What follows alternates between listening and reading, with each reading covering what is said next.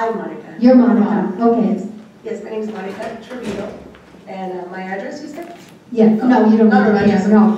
No, but I would like to ask um, Supervisor Elias to uh, give my daughter an excuse for school because it looks like we're gonna go pick up Tarzan. After this. We're gonna go pick him up. I had a divorce lawyer because my husband's not gonna be very happy. Anyway, let's move on. Anyways, um, yes, I am, um, I have belonged uh, to the Sunnyside District uh, my whole life. Um, I have three daughters that all attend Sunnyside schools.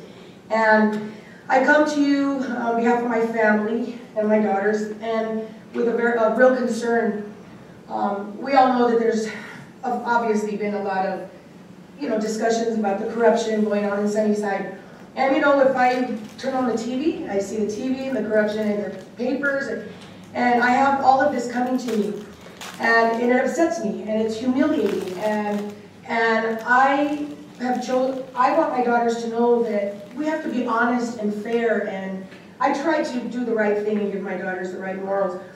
What I'm asking is that the ballots uh, be counted on the day of the election because I think it's fair.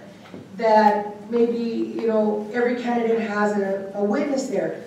I, I see that as fair. We tell our children, you know, don't cheat on tests, don't, you know, and I'm not by any means um, saying that Pima County is cheating, that I just don't know. I'm at a loss. I don't know Bobby Garcia, uh, Louis Gonzalez. I know that they're very powerful people, and I don't know the effects they have on, on, on anybody else in, in this whole makeup. I'm just a parent sitting back here looking at the bigger picture. I'm a registered voter, and I, with all due respect, would please ask that um, you help the community and help us to be fair to our children. I'm scared for my kids. I don't want to have to leave Sunnyside. I don't want to have to leave Sunnyside. I've been here my whole life. I live in the district. And it hurts. It just hurts. Thank you very much. My daughter would like to say a couple of things. Nicolette Loya. Hi, I'm Nikki. Um, a couple of things I wanted to say is that I heard that we don't need paper and pencils anymore because of the laptops that we have now. I haven't had mine in three months because there's always problems with it. And there's very few kids at school with them, so we're always using desktops and going to other teachers' classes, and they don't always have them. So, and um, they're, it's always because of the same reasons, because the laptops break down. And so it's always paper and pencil first. And another thing is that I have over 30 students in each of my classes, so it's hard for me to get the help that I need and the attention. And it has caused my grades to drop because there's not enough teachers. And um, I'm, I'm kind of worried because I don't want to leave Sunnyside. I've been here my whole life and I don't want to change that. Thank you. Well, thank you very much. And you realize that this is called to the audience, so we can't respond. I do believe your issues are being addressed, and I think that Mr. Huckelberry, um, all of you who are here to talk about it, I think that they, they probably have already been addressed, but because this is called to the audience, we, um, we can't legally respond. So we just, we appreciate you coming down here and sharing your concerns. Thank you. Thank you. Thank you, Nikki, for coming. And Supervisor Elias is writing out your excuse right now, and now Supervisor Elias. Ignacio Gomez. And again, I, I think we are, the issue is being addressed, but we can't have that discussion. Madam Chairperson, uh, members of the board, I want to thank you for giving me the opportunity of saying a few words concerning what's going on in the Sunnyside School District. Uh, It take a blind man and somebody that can't hear to see, or to not see what's been going on over there for years. And I just wanted to ask you the favor of making sure that everything is overseen and overlooked in the right manner. I am uh, an ex-alumni of Sunnyside High School, grade school. I started there in the fourth grade and I graduated in 1961. Uh, Many, many moons ago, as my Yaqui tribe would say. And uh, I just want you uh, to please make sure that everything is carried out according to Hoyle. Uh, We don't have recall elections every day. So it's a responsibility that, that we took to make this recall happen because we know what's been going on over there for the last seven years. The superintendent there before this one was there was my cousin. His name is Raul Bejarano. I was elected to the Sunnyside School Board about two and a half years ago. I resigned after two weeks. For the simple reason, and you can explain it to me, I was told that I'm not a resident of the district. Neither is Bobby Garcia. Uh, I was told that because I, I, I, I didn't sleep in my bed at, at my house, that I wasn't a, a, a legitimate member of the board. And I was voted in by the, by the, by the public, the people, the residents. But I'm not gonna talk about me. It it happened, I thought it was wrong, it shouldn't have happened. I'm a taxpayer, I'm still, I vote out of that district to this day. Still vote there. They jumped on me right away concerning, served me with papers drawn up by Louis Gonzalez, the president of the board. I was put under pressure right from the get-go. I'm just asking you to please be aware of what's been going on out there and to make sure that everything runs fair and equitable and that the ballots are counted in, in, in a proper way. We don't want to, we don't want to have to go through the recall election process again because 95% of the people in Sunnyside School District want a change in that board. And we believe we should have a change in that board because of what's been going on over there. I want to thank you for your time. Thank you, Richard Hernandez.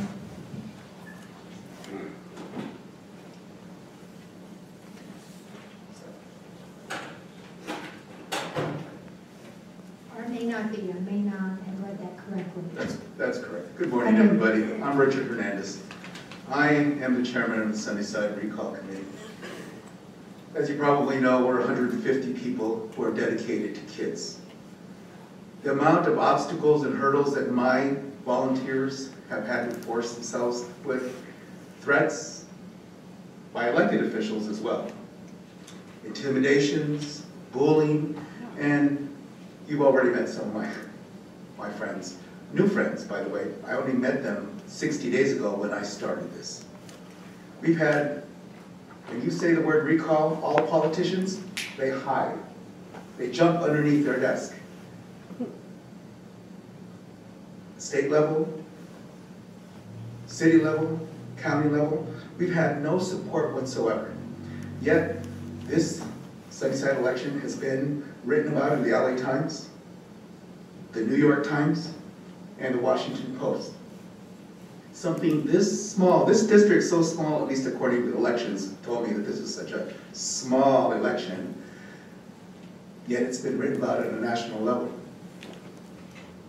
I'm really proud of the people in Sunnyside. They've had to tolerate the abuses that I have. So I'm coming to you and saying, we can see the finish line. Can you look? The finish line is just ahead of us. We're asking your help. The community is asking your help. 4,000 people who signed the recall petition are asking for your help. And all we're asking for is fair and equitable elections. Verifiable, witnessed by the community, and the candidates. It's pretty simple. So we're here today with a simple request. We're asking your help. I think the will of the electorate needs to be adhered to. And so I want to thank again my people in the community. I know they're out there. One, there's actually another candidate out there. He's going to speak today, but Mike's out there. And so if you have a moment, drive by the south side. You'd swear it was a general election. There are signs everywhere. There are mailings that go out regularly. It's discussed. Just yesterday at Sunnyside High School, they gave out awards and my God, this is amazing, Sunnyside schools. And I was, I was talking, I was thinking, Dr. Garcia that you all mentioned, I knew his parents. You know where he grew up? In Sunnyside District. His house, his mom, mom and dad's house is in the Sunnyside District. How do I know this? Because I knew his parents. We produce doctors and lawyers and even some politicians. So we're all about community. That's what I'm all about. And although I've been labeled by lots of people, including some people on this board privately, okay, I can share with you very clearly, we are about kids. Help me be about kids. Make sure this election is fair to all the candidates. Thank you for your time. Thank you, Bill Beard.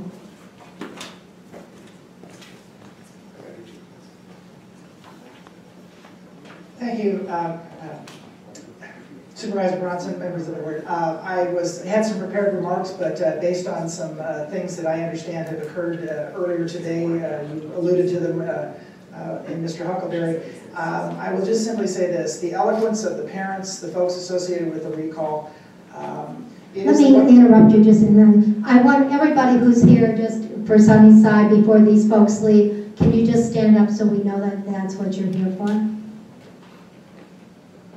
I want to thank you all for coming, and um, we certainly are listening, but again, we can't respond. Thank you. Go ahead, I'm sorry, Bill. Not a problem, I, I, I heartily uh, concur. Uh, Bottom line, the, uh, when the citizens speak, it is incumbent upon government to make sure that the voice is actually heard.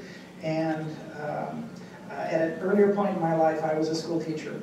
Uh, The kids would come in every day with a hunger for knowledge, a hunger for the information as a teacher I could provide them. Uh, It it was my responsibility to do so.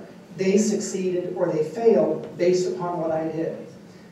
The success or failure of the election should not be called into question by anyone.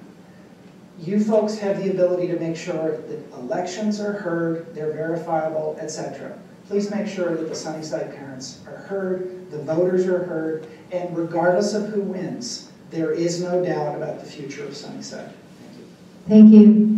Um, And then Al, it looks like Arroyo, Ariano? Is that you? Ariano, I was, yeah, okay, I see it now.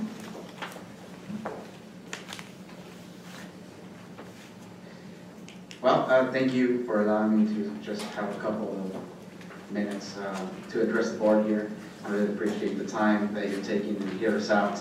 And I know that an issue has been resolved where uh, the ballots will be counted on election day, which is the primary reason that we were here uh, for that issue. And thank you supervisors for taking that active role. Uh, The next piece of concern would be to please allow and push for our recorder to let there be observers at the polling station. It's pretty much common sense to let there be observers where people are voting to ensure that it is fair and balanced. And uh, I'd like to actually reach out to Mr. Ramon Valadez, since that is your district there, to please weigh in heavily. And, and, you know, as president and chairman of Legislative District Two, you are, you fall under my supervisory area as well, and so does Mr. Supervisor Ray Carroll. So I appreciate you taking the time for this and really adhering to what the public is asking for. We have a lot of people, like Mr. Hernandez said, 4,000 people signed a petition to recall these guys. They want them out, and we just want to ensure that there's irrefutable evidence there that regardless of who won, it was fair, it was balanced, and we were heard. So thank you very much, and I really appreciate your time again. Thank you. Sergio, did you want to speak also? Sir My name is John Brady, my address is 5947 South Placita, Picacho, El Diablo. And uh, uh, first off, I want to thank Brad Nelson, that's going to be a shocker, It is. for moving the counting of the ballots to happen Tuesday at 1. And I want to thank Ally Miller for your great letter and for standing up for the voters and for the rest of you who put pressure to go ahead. I want to thank you too. And, uh, but we still have a couple of minor issues to resolve because, you know, making this small election transparent and verifiable, those are the two key words of this election that we have a chance to do. Transparency to the point that, let's say, we're gonna have three locations that any of the observers have been banned from, and that they will have uh, a DRE working there, and that they will have voting booths, even though calling it, uh, you know, ballot drop-off centers. Well, they're not. And people will be voting because a lot of people do not want to vote by mail. I'm one of them. I always vote at a precinct. Now, here's another shocker. I'm gonna vote on a DRE. Because the envelopes are supposed to be privacy envelopes. But something happened the last few years that they're not. It used to be that when you mailed in a ballot or did a provisional, the tab was removed. And when that tab was removed, the ballot went over to the election department and it only had a number on it, a tracking number. Now, when they open the ballot at the election department, they actually see who it's from. I don't want anybody at the election department. I represent two fine candidates running for the same position. And you know, it's only between me and God who I vote for, okay? And I'm, and I represent all the three candidates, and two of them are opposite party, even though it's a nonpartisan. That's something I just want to bring to your attention. The next issue, just real simply, is that uh, I asked Brad, after I bowed to Brad and thanked him, because it was shocking to me that he moved it to one, because I was asking for seven AM. I asked him that if we could have this nonpartisan election observers inside. And I said, I will not be one.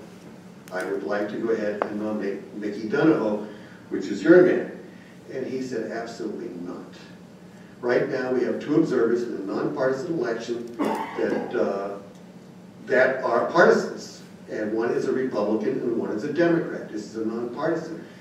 We feel that we are entitled as candidates and observers of those candidates in the political party to go ahead and be in there. So I would ask your help into going ahead and taking this because we can make this election transparent and verifiable.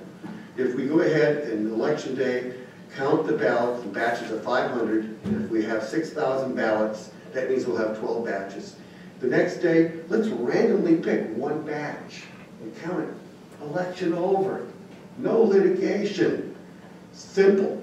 We have dead election.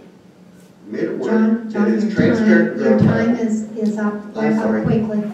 Uh, So your Thank you. points, just real quickly, go over. We wanted to make the election verifiable. We want to go ahead, if there's 12 batches of ballot, 500 each, one ballot batch is picked randomly, and we count that the next day, election over. We want access to all of the facilities that are voting, because these are voting centers, they're not ballot drop-offs. I got pictures, you got three booths set up and a machine. And I thank you for your time. Thank you.